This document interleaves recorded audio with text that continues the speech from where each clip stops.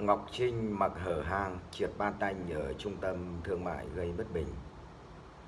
Những hình ảnh và clip Ngọc Trinh mặc đồ hở hang triệt ba tanh ở trung tâm thương mại đang được chia sẻ rầm rộ trên mạng xã hội và nhận những ý kiến bất bình.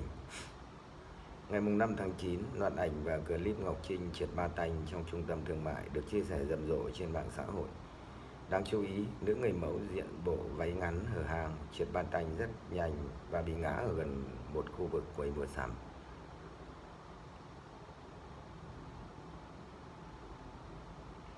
Hành động của Ngọc Trinh thu hút nhiều chú ý của cư dân mạng với đa phần là những ý kiến chê trách về cách ăn mặc. Thông thường người trượt ba tay sẽ diện đồ thể thao và mang giày trượt ba tay cùng đồ bảo hộ khuỷu tay, đầu gối. Bộ đồ Ngọc Trinh hiện diện hở hang giống như là nội y, hoàn toàn không phù hợp với bộ môn này, cũng như không phù hợp để xuất hiện ở nơi công cộng. Chưa kể người mẫu bị phê phán vì triệt ba tanh trong trung tâm thương mại có thể gây mất an toàn cho người khác. Ngọc Trinh đã chuyển từ làm siếc trên mô tô sang triệt ba thanh trong trung tâm thương mại. Sao lại chơi cái này trong trung tâm thương mại nhỉ? Lại nhàn cư vi bất thiện à? Chiếc đa tanh mà mặc thế kia cũng không có bảo vệ đầu gối nữa, thật cố chấp. Rồi vẫn chưa chừa có phép lịch sự không? Là những lời bình luận của các cư dân mạng.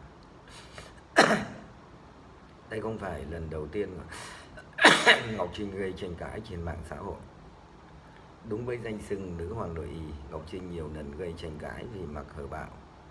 Khi thì mặc bikini chụp hình quảng bá cho một nhãn hàng hay chọn trang phục mặc như không trên thảm đỏ liên hoan phim Cannes.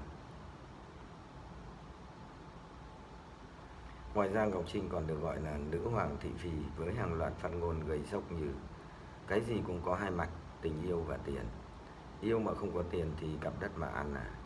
Tôi ngu nhưng giỏi kiếm tiền. Đàn ông nghèo chắc tôi không yêu đâu. Tôi không ngại khi bị nói là ăn bám tiền đại gia.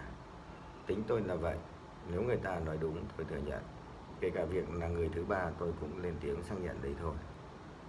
Gần nhất là hồi tháng 2 2024, Tòa án Nhân dân thành phố Hồ Chí Minh đã tuyên Trần Thị Ngọc Trinh, người mẫu Ngọc Trinh sinh năm 89, ngụ thành phố Thủ Đức, một năm tù nhưng cho hưởng án treo, thời gian thử thách 2 năm về tội gây dối trật tự công cộng, trả tự do ngay tại tòa.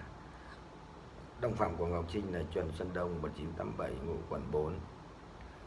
Một năm tù về tội gây dối trật tự công cộng, 6 tháng tù sử dụng tài liệu giả của cơ quan tổ chức, tổng hợp hình phạt cho cả hai tội là một năm 6 tháng tù.